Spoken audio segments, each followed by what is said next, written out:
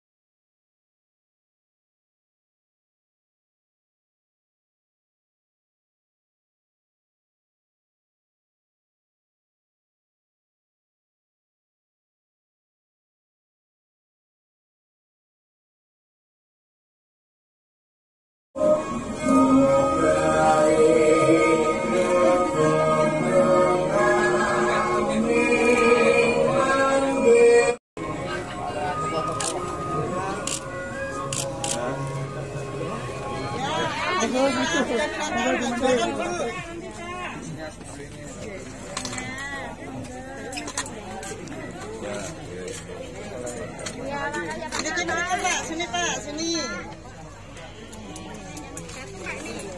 Sini. Monggo, sini, sini, sini.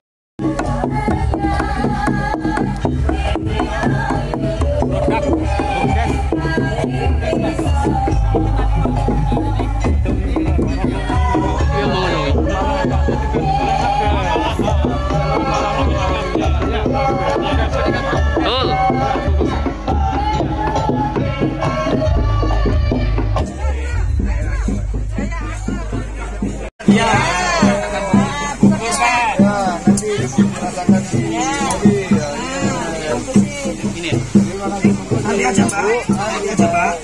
Nanti aja. Tangannya pakai BRI apa ya? Very terbaik.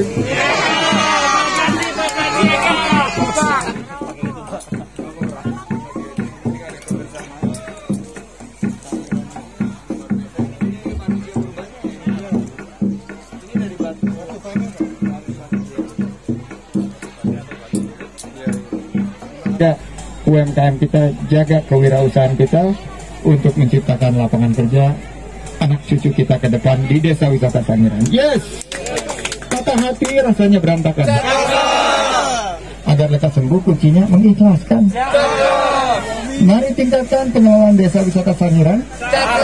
Bersama Bu Bupati, ciptakan pengalaman yang tak terlupakan. Ini kayaknya kunci apa pantun-pantunnya pantun jatuh cinta nih. Saya lihat potensinya luar biasa ya karena wisata edukasi, wisata berbasis sejarah, wisata berbasis budaya dan yang tadi saya kaget saya di stop oleh teman-teman yang lagi menggagas sangiran atau sangirun yaitu lomba lari 25 km di malam hari menuju eh, Solo. Dan ini menurut saya potensinya sangat luar biasa. Tapi yang paling betul-betul menyentuh saya adalah produk-produk ekonomi kreatifnya tadi pasar budaya dan ini adalah omah budaya sangir yang kita ingin kembangkan jadi potensi ini yang nanti saya akan koordinasikan sama Ibu Bupati mudah-mudahan akan menghadirkan gerak geliat ekonomi dan membuka peluang kerja bagi masyarakat desa wisata Sangiran. Dua tahun terus terkena COVID. Nah, kami selalu berkoordinasi dengan pemerintah kabupaten, SK Desa Wisata yang sudah ditandatangani oleh Bu Bupati, kami memberikan pendampingan. Harapannya ini akan naik dari rintisan menjadi berkembang, berkembang menjadi maju, maju menjadi mandiri. Amin. Amin Allahumma. Lanjut. Oh, sudah? Oke, terima kasih Bung Koe, Bung Koe.